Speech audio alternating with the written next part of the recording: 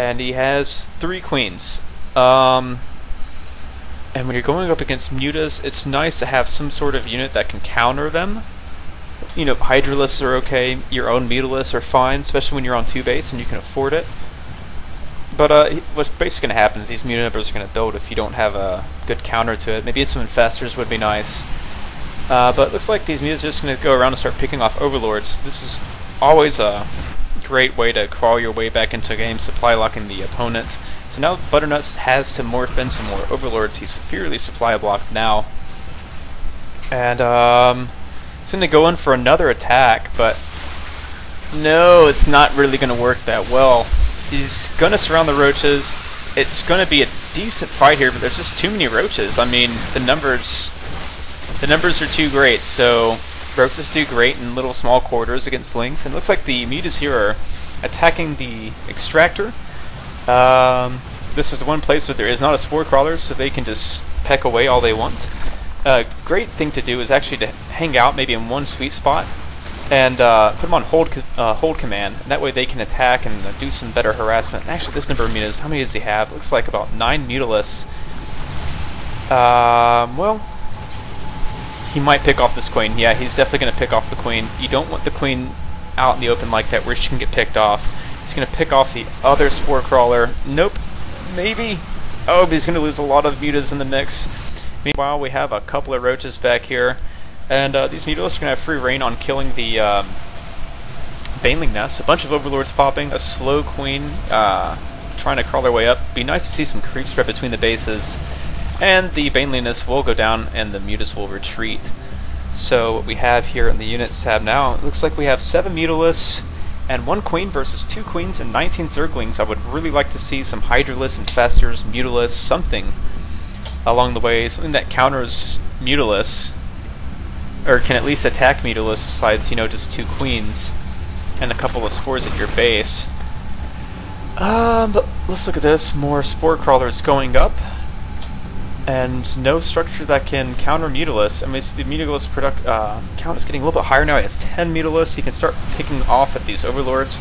There's no spore to really protect them. And, oh, we can get a couple of drones too. That would be pretty nice. Uh, it looks like he's going to try and pick off this Queen. She has no buddy with her, so she's going to get picked off easily. Uh, near full energy queen. So another loss by Butternuts, and during this time, he's trying to expand. It looks like Butternut's going to go for some sort of counterattack, try to put the uh, enemy Zerg behind, but again, there's just so many roaches here. I don't understand why he doesn't make a lot of roaches and go and kill him. Because if you made a lot of roaches here, you could take out this roach army, have free rein on this base. And Mutalisks aren't that great against roaches, actually. So the Zerglings are going to focus fire the hatchery. Um, they're probably not going to get it, but they are going to take it down to about half health. But, I mean, he's just trading his army, and the other Zerg is retaining his army. So let's look at the production tab. Another 5 Mutalisk, another Roach on the way. Butternut's finally getting some drones going. And Okay, this is finally good saturation, and what he really needs to do here is throw down some tech, really start getting the tech going, because he can afford it now. Maybe throw back up that extractor, get more uh, drones on gas, go for the really uh, fast and nasty tech, but looks like these mutalisks are going to come in here and harass a little bit. Just poke around because they're mutalisks and they're really annoying. And they're also going to pick off this queen. Is the other spore going to finish in time? Yes, it does. The Mutalisks need to back out ASAP, uh, which they do. Let's look at the numbers here. We have about 9 Mutalisks, but that's way too many spores. He's going to have to back off. Alright, so Butternuts can safely macro in his base. He doesn't have to worry about Mutalisks. He needs to lay down creep tumors and connect these, so his queens and uh, if he goes for Hydras, they can move around faster. We have a little bit over oversaturated here. Finally getting a, a lair. It looks like at the 21 minute mark. It's a little bit late, so that's really, really slow tech. He's finally mining some gas. This is really oversaturated. He needs to stop making drones now because he can't afford... He can't. He doesn't need to make anymore. And look at this. He has a roach warren, and he's not using it. He could be making lots of roaches here. And uh, let's see what buddy here is going to do. Going to come up here in here with a couple of roaches and a couple of mutas, pose them out front, uh, you know, really assert that map control dominance, that alpha male kind of stuff. You know, because he's a big boss here. I mean, he's got a bigger army, and Butternuts has uh, four lings and a couple of spines and spores. So I mean, really, he could just 1A in here and probably win with the roaches. You, you don't need to bring in the Mutalisk until the spores are down, and then you could just kill him right here. Putting up more spores. Finally, a Hydralisk done. This is a great idea. It should have happened about 10 minutes ago, but looks like we have a little bit of a poke engagement here. He's going to back away, seeing all those spores and a couple of spines. Okay, going to wait for some more roaches, maybe. And, um, alright, just going to camp out here in the middle. So in the meantime, I will have to commend Butternuts on this. Um, I don't think his strategies. I don't think he really understands the strategic part, but at least he has good uh, transfuse uh, macro. It's a lot better than mine is.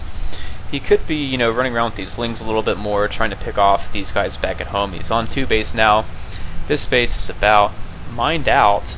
This base isn't really even started, and uh, other are sprawling roaches in here, and the roach numbers are starting to look scary. So let's look at the units tab. 22 roaches. That's really scary. So now we have a couple of Hydralisks on the way. Oh gosh, a lot of Hydralisks. You want to fall back. And now you really want to start that roach production because you need a meat shield for your Hydralisk. If you just go Hydralisk alone, uh, alone versus Roach uh, Muta, you're going to lose because the Roaches are just going to have so much DPS and these Muta numbers are just way too high. You need some units kind of in the front to tank some damage. And, um, okay, this isn't a bad idea. Bonus is going to take down these rocks, try to take his third. He can't expand over at his gold. Um, not a good rally point here for Zerglings. It looks like he's just going to go try to run by and kill the hatchery.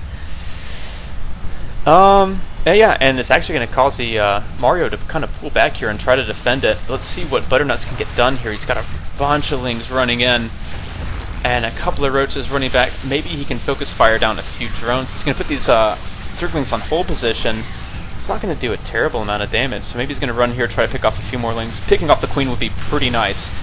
Um, but look at this army. Look how scary that looks. That is a massive Zerg army. And meanwhile, Butternuts just has Hydralisks and a couple of lings. You need roaches like crazy. You need lots and lots of roaches, and you also need to be mining gas here. But anyway, so we have this big ass Doom push coming out, and Butternuts doesn't really have much to defend this with. We have uh, I mean, 17 Lings and 19 Hydras, that's... He can just 1A right here and kill him. He needs Roaches to tank damage. Um, but it doesn't look like he has the mineral... He doesn't have the minerals to do it. And it looks like he's going to try and to expand here. I, I, think the reason he doesn't have enough minerals is because he spent so much on Hydralisk. You don't need that many. You need to make some Roaches really bad. You can't just win the game making Hydralisk.